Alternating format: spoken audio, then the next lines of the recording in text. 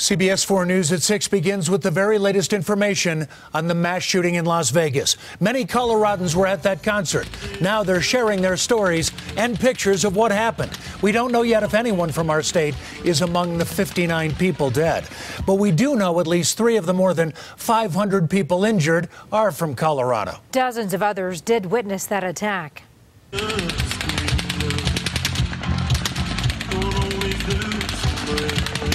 The country music concert was in an outdoor arena across the street from the Mandalay Bay Hotel. Authorities say the lone gunman had 20 rifles in his hotel room. Authorities found thousands of rounds of ammunition in his home. The sheriff now says the gunman had ammonium nitrate also in his car.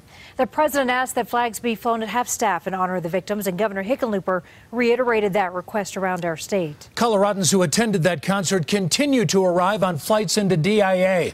CBS 4's Tom Mustin at the airport. And Tom, you talked to many traumatized people out there today. Jim, we talked to a lot of Coloradans who were at that show last night, and they all talked about the terror as the bullets flew by. But we also heard incredible stories of bravery, including a woman you're about to meet who says she owes her life to a complete stranger. Everyone was screaming, crying. Um, it was horrifying. Emotional families embraced a DIA after a night of horror in Las Vegas. We heard a couple pop, pop, pops. We thought it was fireworks. It looked like a war zone. It was crazy. Sunday night, golden couple Lani Langton and Sarah Lake were among the 22,000 people watching a concert by country star Jason Aldean in Vegas. When shots rained down from above, they were separated as people fled the scene in panic.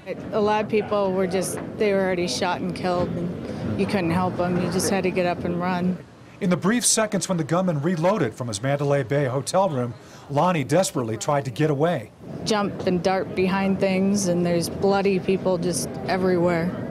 Sarah says as the bullets whizzed overhead, a complete stranger saved her life. He said, Get down, I'm going to cover you. And he laid over me, and he was very brave, and he was shot um, in the head.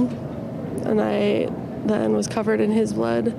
When the shooting finally ended, Sarah says she and other survivors came together amidst the carnage for a moment she'll never forget. We prayed. The whole group sat there and said the Lord's Prayer.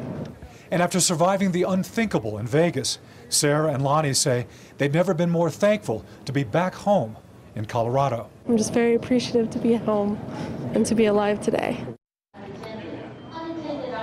So a lot of very, very grateful people tonight. Again, three people we know of from Colorado were wounded in the attack yesterday. The good news is all are expected to be okay.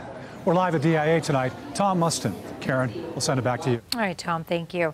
Of those Coloradans hurt, one worked at the Stampede Bar, has shrapnel in his leg. He believes the group of 35 that he was with all survived.